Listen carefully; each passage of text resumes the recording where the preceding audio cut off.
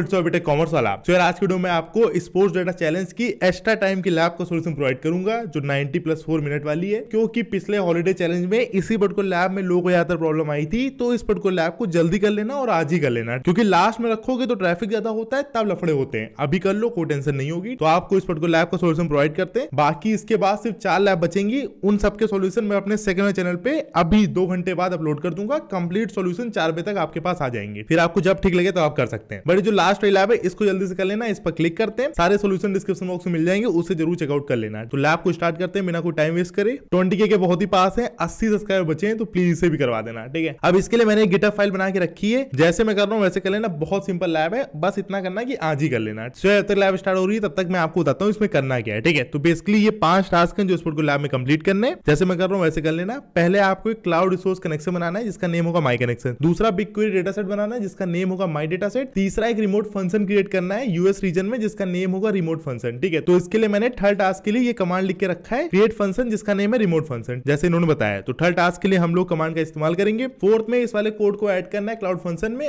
और cloud function को redeploy करना है। और फिफ्थ वाले में बस वेट करना है क्लाउड फ़ंक्शन जैसे ही आपका रीडिप्लॉय हो जाएगा, आपका काम हो जाएगा पासवर्ड कॉपी करना ओपन गूगल क्लाउड कंसोल पर क्लिक करना, पहले से जो अकाउंट होते हैं, इनको रिमूव कर दिया करो, ठीक है? इंटर करना पेज करना इंटर करना, इसको एक्सेप्ट कर लेना। आप क्या करना है, इसको समझते हैं। पहले वाले में नेम होगा माई कनेक्शन इसको कॉपी करना, ठीक है? और इसको आई एग्री करके एग्री कंटिन्यू कर देना। अब हम लोग ओपन करेंगे बिग क्यूरी को। देन इस पर क्लिक करना। इसको डन कर देना। अब एड डेटा पर जाना। अब यहाँ पे connection to external data sources पर क्लिक करेंगे। कनेक्शन टाइप में लास्ट वाले को सिलेक्ट करना, ठीक है? क्लाउड रिसोर्स वाला। और जो नेम है, जो कॉपी किया, उसको पेस्ट करना। ये काम हो गया। क्रिएट कनेक्शन पर क्लिक करना। पहला टास्क कंप्लीट सेकंड टास्क है माई डेटा सेट करके एक डेटा सेट क्रिएट करना है। तो इस नेम को कॉपी करना माई डेटा सेट वाले। फुल स्टॉप को कॉपी मत करना, ध्यान से कॉपी करना, ठीक है? ये काम हो गया। अब यहाँ पे तीन डॉट्स पे क्लिक करना। क्रिएट डेटा सेट पर जाना। नेम को यहाँ पे पेस्ट करना। इस तरह और फिर क्रिएट डेटा सेट पर क्लिक करना। सेकंड टास्क भी कंप्लीट हो गया। थर्ड में क्या करना है? यूएस रीजन में रिमोट फ़ंक्शन विद द अब डेटा सेट तो इसके लिए आपको पहले एक क्लाउड रिसोर्स कनेक्शन भी बनाना पड़ेगा। वो कैसे? उसके लिए मैंने एक नेम लिख के यहाँ पे रखा है। माई फ़ंक्शन आप इस्तेमाल कर सकते हैं, ठीक है? तो इसको कॉपी करना। कोई और नेम चेंज कर सकते हो, बस इतना ध्यान रखना। जो भी नेम यहाँ रखना है, ऐसे यहाँ मैंने माई फ़ंक्शन रखा है तो यहाँ भी माई फ़ंक्शन ही रखना, ठीक है? बस इस चीज़ को ध्यान रखना। जो आपको नेम ठीक लगे, उसको आप इस्तेमाल कर सकते हैं। फिर से हम लोग एड डेटा में जाएँगे।